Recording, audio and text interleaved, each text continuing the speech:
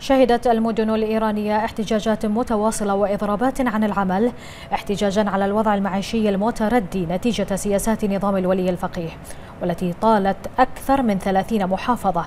ففي الأحواز تجمع موظفون متقاعدون من مصنع الصلب أمام مبنى صندوق التقاعد للاحتجاج على عدم دفع رواتبهم. وفي جاجان شمال إيران نظم مزارعون احتجاجا في ساحة شحن البضائع بسبب ابتزازهم من قبل عناصر تابعة للنظام ومنعهم من بيع محاصيلهم الزراعية. من جهة أخرى يستمر إضراب سائقي الشاحنات ويدخل يومه السابع ما تسبب بأزمة تجارية حادة من جهة وشح في الوقود من جهة أخرى.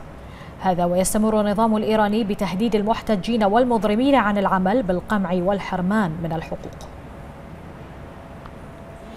من جانبها أشادت مريم رجوي زعيمة المعارضة الإيرانية بإضراب سائقي الشاحنات في إيران وأكدت أن الإضراب انتفاضة للتخلص من فساد نظام الولي الفقيه.